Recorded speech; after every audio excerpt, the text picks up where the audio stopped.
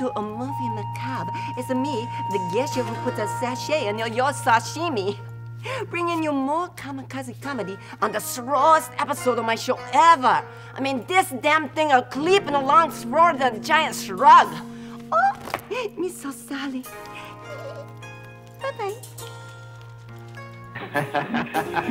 Nagasaki dreaming. On such a windy day. Nagasaki. On such a windy day.